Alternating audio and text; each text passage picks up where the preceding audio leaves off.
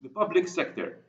Do the principles of digitalization equally apply in the context of the public sector?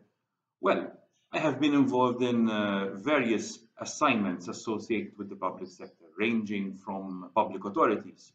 I have also been involved in leading the implementation and development of a business portal across various sectors of a particular government. And I have also been appointed as a subject matter expert for various governments in the Middle East to oversee the process of implementing digital programs uh, and comparing them against best practices. And what are the lessons learned around these issues? Government has its own unique challenges and issues that need to be faced. I would like to focus on three main areas.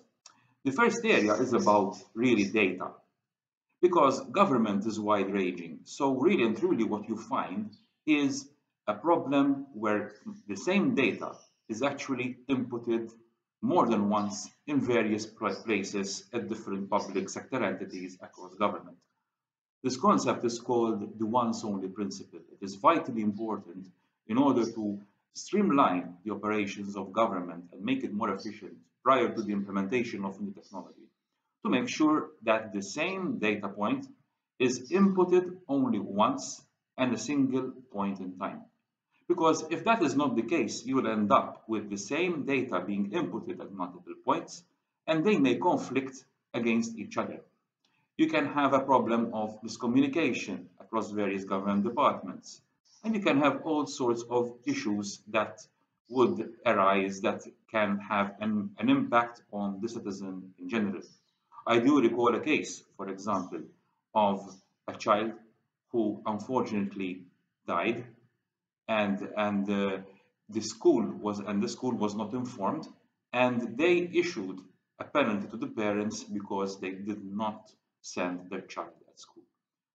Now that is really very heartbreaking for parents to receive such a note.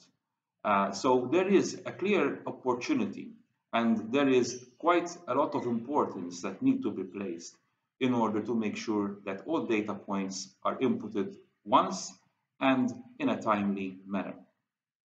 The second point I'd like to highlight is the human resource issue.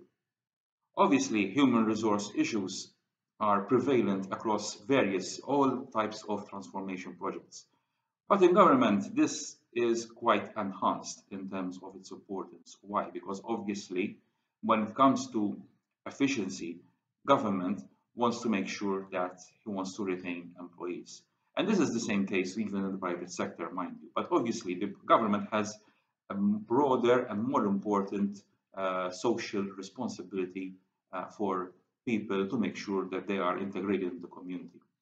So typically when I, when I am involved in these uh, transformation projects which involve the implementation of digital solutions, what we try to come up is not to reduce people, but rather to use the same people to do more tasks, to become more productive, to be trained in carrying out different types of work, and in making sure that at the end of the day, be, it becomes a win-win situation, both for the employer, who is the government, and for the employee himself who feels more fulfilled on the place of work.